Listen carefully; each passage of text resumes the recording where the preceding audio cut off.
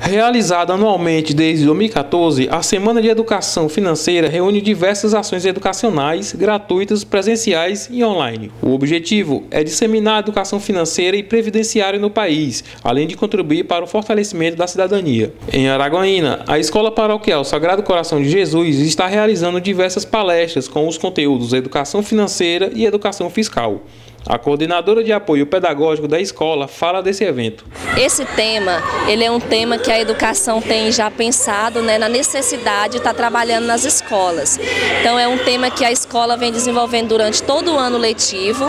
Nós estamos trabalhando com palestras, com, trazendo pessoas né, da área, pessoas que entendem sobre o assunto, trazendo informações importantes, como os tributos, impostos, como economizar, tudo isso a gente tem trabalhado com as crianças. Né?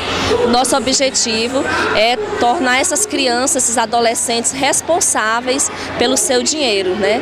pessoas, cidadãos conscientes da educação financeira na sua vida, levar isso aqui para a vida deles. A palestra que aconteceu nessa quinta-feira foi conduzida pela professora de Economia Maria das Graças crianças. Ela fala da importância desse projeto no aprendizado das crianças. Essas palestras visam o quê? Uma educação financeira que traz a educação tributária. Para quê? Para que elas tomem consciência de que, enquanto cidadãs, ela tem direitos e tem deveres.